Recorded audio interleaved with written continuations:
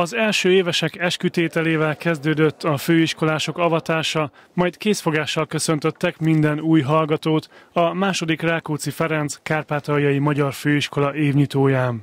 Orosz Ildikó, a főiskola rektora tanévnyitó beszédében beszámolt az elmúlt évben elért sikerekről.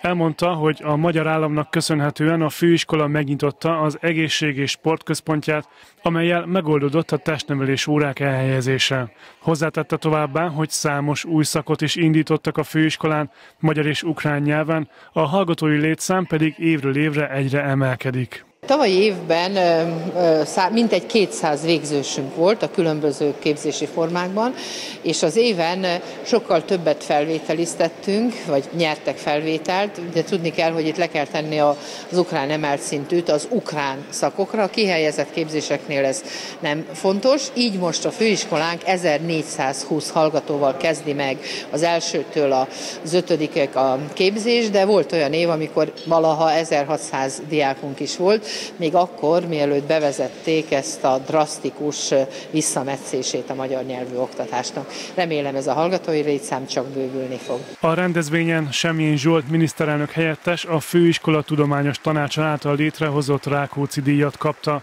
A díjátadást követően köszöntötte a jelenlévőket, és beszédében kiemelte, hogy Magyarország nemzetpolitikája mély keresztény gyökerekből indul ki, és a magyar kormány minden segítséget megad ahhoz, hogy a magyar nemzet fennmaradjon a határon kívül élő magyarokkal együtt. Az oktatáson múlik a magyar identitás, ezért minden, ami eh, oktatás, eh, kultúra, Eh, hagyományőrzést, ugye az értemszerűen nagyon nagy összegekkel támogatjuk, csak megjegyzem, hogy meg tízszereztük 2010 óta a határon túli magyarságnak a támogatását. Itt egyetlen dologra hadd térjek még ki, konkrétum tekintetében.